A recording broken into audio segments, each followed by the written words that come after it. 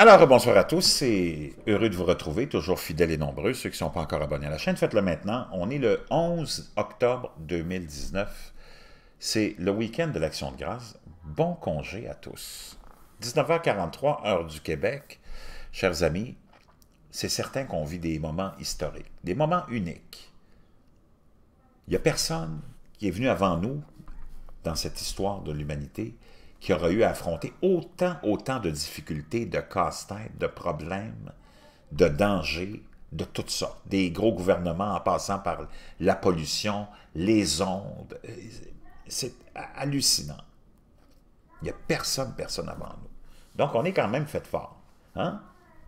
Parce qu'on passe à travers tout ça, puis le monde a l'air à pas vraiment se préoccuper des grandes difficultés qu'on a. Ceci étant dit, on a des changements climatiques majeurs il ne faut pas les minimiser. Ils n'ont rien à voir avec l'industrialisation, le CO2, qui n'a rien à voir d'abord avec le réchauffement de la planète. Il y a un seul élément, il y a une seule chose qui fait qu'il fait chaud sur la planète ou non, c'est le soleil. Il n'y a rien d'autre. C'est comme quand vous êtes dans une pièce avec un radiateur puis un thermostat. Si vous augmentez la température du radiateur, il va faire chaud. Si vous la baissez, il va faire froid. Le soleil a deux cycles, le minimum, le maximum, et il y a des grands minimums, et il y a des grands maximums qui viennent influencer notre température. Rien d'autre. Mais on n'en parle jamais. Parce que c'est pas payant de parler de ça. Mais on veut vous ramener à l'époque où on vénérait le soleil, sans science. On a toute cette bande d'alarmistes hein, qui sont comme ces gens qui adoraient le soleil et qui dansaient dans les, dans les champs pour avoir de la pluie, pour avoir du vent ou pour avoir du froid. On, est on est retourné à ça. Mais il y a quand même des gens comme vous et moi qui restons lucides et qui s'accrochons à la rationalité. Parce qu'il n'y a plus beaucoup de rationalité. Moi, je vous mets au défi de faire l'exercice suivant. C'est un long week-end. Regardez autour de vous. Votre femme, votre mari, vos enfants, vos amis, votre mère, votre père. Puis je vous mets au défi de me trouver cinq personnes dans votre entourage, mais vraiment proches, cinq personnes qui sont rationnelles. Il n'y en a plus. La rationalité est disparue. On est dans l'hystérie collective. L'hystérie collective. Que voulez-vous? C'est pour ça que c'est facile d'arnaquer.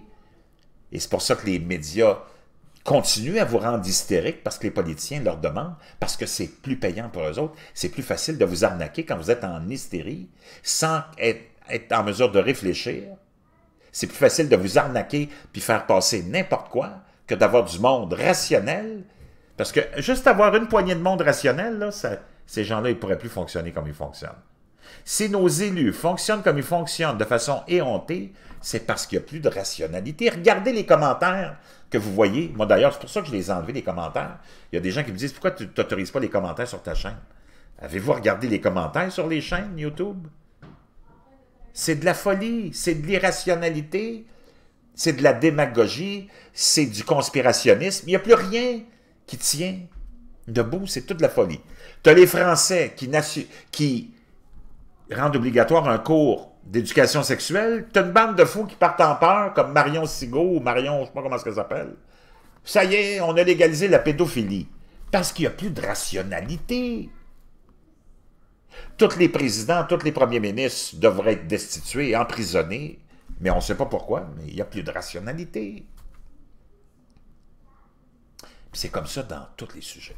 Donc les gens me demandent pourquoi tu enlevé les commentaires. Ben, parce que si, d'abord, c'est moi qui, qui fais les publications. Donc c'est avec moi que vous devez échanger. Si vous avez des idées ou des arguments à m'apporter, vous avez mes courriels, puis on le fait, puis ça reste civilisé. J'ai déjà dans le passé, avec ma première chaîne, j'ai déjà autorisé les commentaires. Je peux vous dire une chose, ça volait pas haut.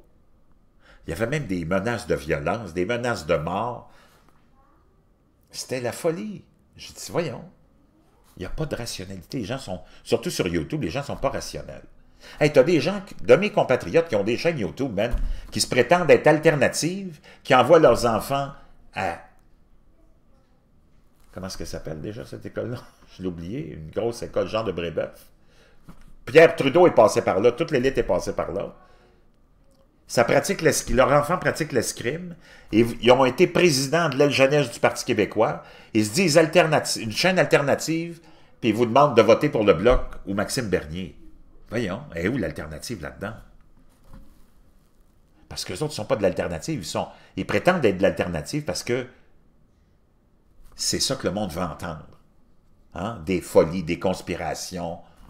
Puis les autres, ils ne veulent pas contredire le monde. Moi, j'ai le courage, puis j'ai l'affront toujours euh, un, peu provoqué, puis de, provoquer sur tout le monde.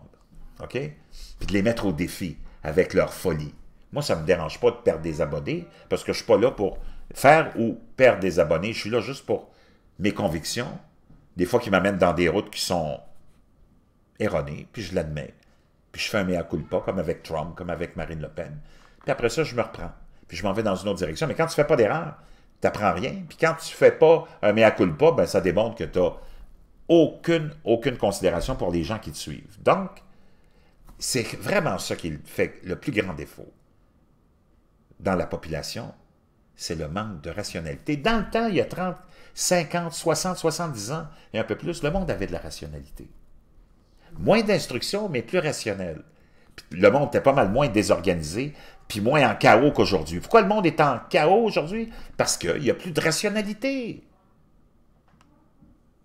Il fallait que je vous en parle. Je devais encore parler d'Agibis, mais là, je vais y arriver, mais c'est le week-end de l'Action de grâce, puis il faut en profiter quand il y a des moments comme ça pour se reprendre en main, se remettre en question. Nous autres, tu as beau blâmer les médias, les, politiciens, les élus, les artistes, les artistes, si toi, tu n'es pas capable de résister à toute leur folie puis d'avoir de la rationalité, c'est pas eux autres le problème. C'est nous autres.